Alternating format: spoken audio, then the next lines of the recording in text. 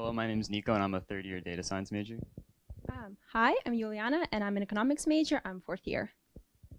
Hi, I'm Monica. I'm a third year di- um, cog sci major. Ah, yes. Okay. So during the voting season, those who are eligible to vote, they receive tax ballots and these are snapshots of the ones that we had, but they're way longer and can go on for pages, which was impossible to include in the presentation. So the tax ballots can address a number of different questions. Some of them include creating a new tax, for example, to build a stadium, or continuing an already existing tax about school programs, or perhaps, you know, eliminating a tax altogether. And these tax ballots have um, an impartial analysis done by a city attorney. It is usually the longest part of the tax ballot and goes on for pages. This is like one tenth of it. It is done by city attorney, so it features a lot of legal and formal language, which sometimes is very hard to follow, even though it is supposed to be a very like summary of the proposal. So you'd think it's simple, but it's not. Uh, the tax proposals also feature arguments for and against. So on the right, this is the argument for. And it is actually pretty short, so those are done by pretty much anyone. So anyone can write one and submit it, and after it is approved by the city council, it goes on an official tax ballot. Because they're not done by the city attorney, they're usually written in a way simpler language, so they're not as formal and much easier to follow. So this brings us to our data set and you know what we had to work with. So before we began our project, we were given all this amount of data and we were thinking, well, how can we approach it? So we started to work with determining what is the right program for the right problem for our project. Uh, so if you look at this, our initial state was essentially having a vast amount of raw data of, you know, not previously analyzed tax proposals. And our goal was, you know, to make sense of the data and create some sort of visual representation of all the different topic alignments and topic shifts that were featured in the tax proposals.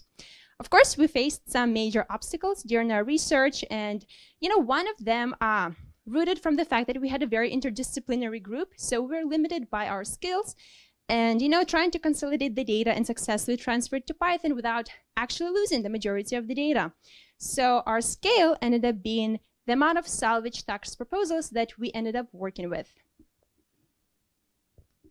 okay before we break down the the um, how we got to our problem, let's start with the big question regard surrounding our fiscal democracy project, which is we want to understand how do people vote in local ballots? There are a myriad of factors that go into how people vote. And given the interests of the Fiscal Democracy Project, language was the factor that we wanted to focus on. But still, language is very broad a topic. And so we had to do some digging into the available data sets that we had in order to figure out what we wanted to ask about language. And in observing the tax proposals that we had available to us, we noticed that sometimes the arguments would do a topic shift or a pivot that wasn't necessarily correlated with the ballot question. For example, a ballot question would ask, would you like to, would, um, would you be willing to pay taxes for this new stadium? But in the argument, it would be asking, forget the stadium, let's focus on public transit, people. And that was something interested, interesting to us, and that primed our attention to the arguments. Another factor that um, swayed our attention to the arguments was that in our literature review reviews, we, we learned that social factors are a very prominent part in influencing the vote. And of the of the ballot materials available to us, the arguments were arguably the most social factor because they represented voices from the community. And so, therefore, because we checked in with our faculty advisor and he had yet to do this he had yet to ask this question in his um, analyses with the, his data set. This was a gap that we could fill with data science. So as I previously kind of mentioned, we had a lot of constraints and obstacles that we had to overcome during our research. Uh, so essentially the biggest one as is evident from this slide was the time and you know making the most out of the data that we ended up salvaging and having for our research. So some of the arguments would gone missing and they were not actually present in the proposal. So it was very hard for us to you know have a very like universal data collection that we could work with Uh, other technical limitations, again, individual skills based on having an interdisciplinary group and, you know, having a very like funky online tools like regex, which would act up and just not be great at analyzing the data. And another constraint really stems from having the data set itself. As I just mentioned, you would think that the tax ballots are very like, you know, coherent and they're all the same. They're not because we had thousands of tax ballots which ranged from, you know, the 70s, the 80s. They were very uh, different and a lot of them were missing parts of the arguments or rebuttals because those are not actually mandatory. So that happened. So the not available data for every measure was a big constraint. And so taking into account all these constraints, we developed our hypothesis and we hypothesized um, given our interest in analyzing the topic shifts in the arguments, was that the closer the topics, um, the topics of the argument for and the summary provided in the ballot proposal are to one another, the more likely the proposal will pass, thereby indicating the strength of the argument. Essentially, the, the more on topic the argument for is, the more likely it is to be effective. And in order to approach this via using data science, we would first have to extract the snippets pertaining to the argument for and summary from the tax proposals that we were given and then assign each to its most prevalent topic using topic modeling techniques, and then plot those topics onto a, onto a word space, and then using the distance between the topics, assess how closely aligned the topics are. And in doing so, we came to um, look at some interesting emergent properties. For one, even though our project doesn't deal with a complex social um, technical system that involves humans, it's important to, remember that language is all is created by complex humans. So as such, it's still a very complex system in and of itself, and it's very hard to analyzing using data science. Um, and one thing that we came across was that when we were trying to assess um, the data in the words, individual words as component components themselves, when you combine them, they form topics that we that was our um, that was the main focus that we wanted to understand. How do these topics emerge from individual words within tax ballots? And how do these topics, um, when graphed together, emerge into a degree of alignment that was essentially the the crux of our question.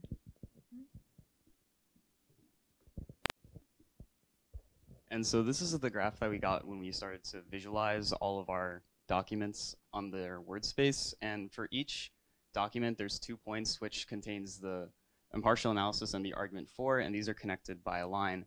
But like looking at this, it's super confusing. So we're gonna explain a little bit about what it means using an analogy.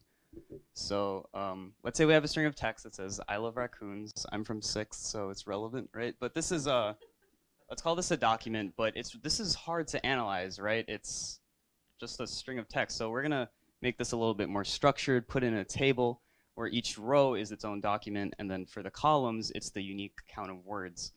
But there's a problem, right? If we have more words, right, well, we can plot this one on a three-dimensional space because it has three different columns. There's a column for I, love, and raccoons, so each of those could be their own axes.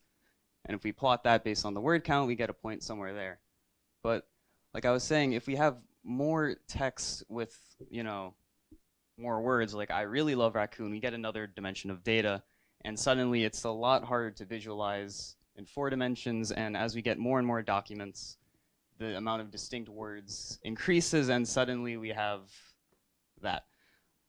So what we used was a technique called principal components analysis, which can project multidimensional data. And in our case, we had around 2,400 columns of unique words, and it can project it using linear transformations onto however many dimensions you want. And in our case, we put it on a two-dimensional plane. And when it creates these components or these dimensions, it creates a vector that has in has a word, and for each word that's contained within this vector, there's a weight that represents how much it affects this axis. And this is how the topics start to come together. And if we plot these um, vectors on a two-dimensional space, we can see how much certain terms affect the clusters. And so this also looks really confusing, but the ones in pink are the top 30 most important um, phrases. So in the top right, we have schools, and the bottom right, we have district. And if you start to interpret these axes as like a sort of polarity, you can see that going from top to bottom, it's more um, public to private. And then left to right, we couldn't figure that one out. But so when we look back at our actual graph, it's, it's sort, it sort of helps us to contextualize what's going on. And perhaps one of the things that we should have done differently was look at documents that contain things other than schools because here we have a very large cluster of words that do not include schools. And then on this side, we have more documents that only talk about schools. So what we tested was the topic alignment or the topic shift. And to do that, we calculated the Euclidean distance between the impartial analysis and the argument for on this graph, and then looked for the, if there was a correlation between this. And then unfortunately, we had a value about 2.8%, which is uh, not good. It means there's not much correlation between the result and the distance. And to test the statistical significance of this, we used a permutation test, which means that we have in a row each document and then the result being whether it passed or failed and then the Euclidean distance for there. And we shuffle it around. It'll rep it'll simulate a distribution in where everything is due to chance. And if we simulate this however many times we did which was 500 and then we plot our correlation where within this distribution we see it's small it falls straight in the middle which means it's completely random basically. So that's great. So what does this mean? Well, it means that whether or not there is a topic alignment or um, a divergent topic alignment, um, it doesn't particularly influence it for this data, but we're not sure whether or not it's because people don't read the arguments in the local tax ballots or it, whether or not people are even delivered these, right? So. Yeah. So to recap, we used creative heuristics and tried to observe the data by reading like individual tax ballots, which was a lot of fun. And we actually noticed that the topic shifts are very explicit. They do happen. So unless you don't read the document, you like you should know that they happen. So we were wondering if, you know, the topic adherence could be used as a universal tool of persuasion because, you know, if the argument does not even stay on topic, are you more or less likely to vote? You'd think no, but who knows? So this, uh, even though our hypothesis ultimately was rejected, we are now having the opportunity to ask bigger questions, for example, about content significance, you know? If we assume that people do read the documents that they're presented with, we can ask ourselves, are they absorbing and analyzing the new information, or are they only using their previously established opinions and experiences when forming a decision? So do you guys have any questions about our project?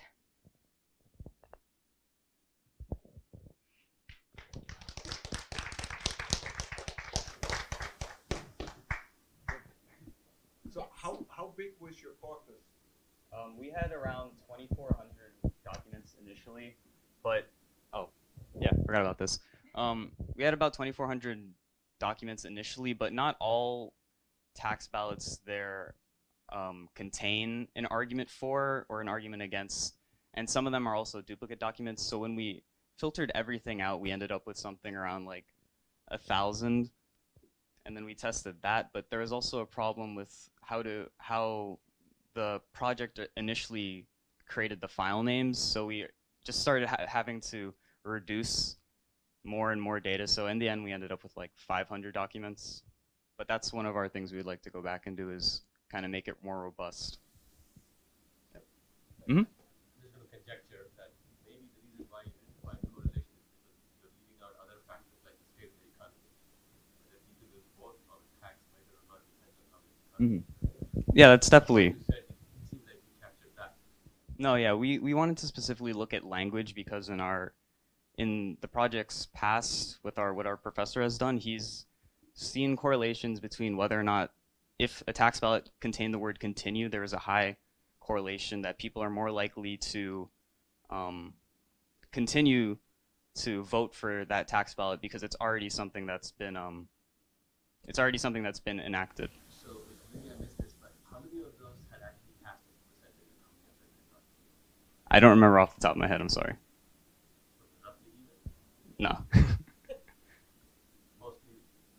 Hmm? not passed. Most did not pass. or most passed.